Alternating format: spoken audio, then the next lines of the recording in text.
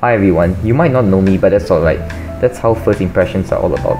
Over the course of these two years, I've been wanting to start a YouTube channel. Technically, I did post some videos but they take too long to make. You see, the main problem that I'm continually facing right now is that I'm a senior in high school with loads of work to be done.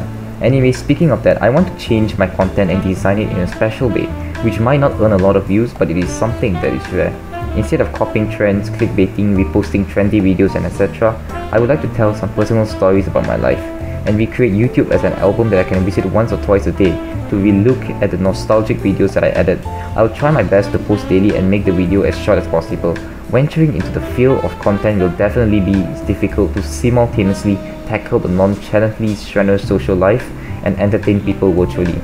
If you made it this far, consider subscribing if you feel like it. I'm not forcing you, but it'll be really appreciated if you do so. And thanks for watching. Have a good day.